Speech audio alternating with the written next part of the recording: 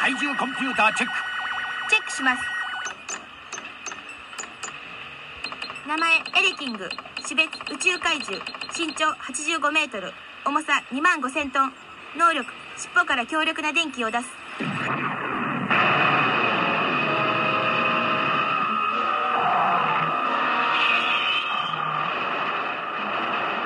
地球侵略を企むピット星人の手先として地上に姿を現した宇宙怪獣エレキン。グ巨大怪獣がうようよ住んでいると言われる魔の星。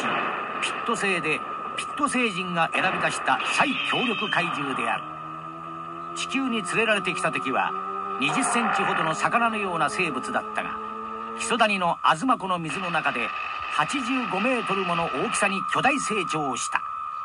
くるくる回転している角はピット星人の地球侵略指令を受けるためのレーダーだ。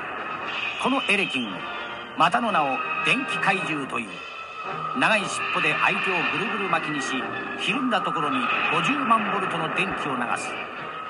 ウルトラセブンがピンチヒッターに呼んだ正義のカプセル怪獣ニクラスもこのエレキングの電気攻撃には勝てなかった。ハエのように空からまとわりつく敵にはエレキングスパーク光線。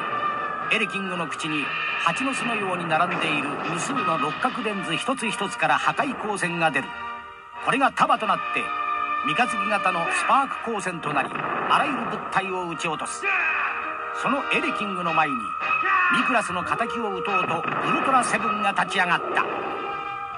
ウルトラセブンをぐるぐる巻きにしたエレキングは得意の電気攻撃を仕掛けるが今度は通じない。まずピット星人の指令を受けている角を壊すのだ。エメリウム光線。ひるんだところでウルトラセブン必殺のアイスラッガー三段切りだ。ズタズタにされたエレキングの首が落ちて大爆発。ピット星人の野望はもろくも崩れ去ったのであった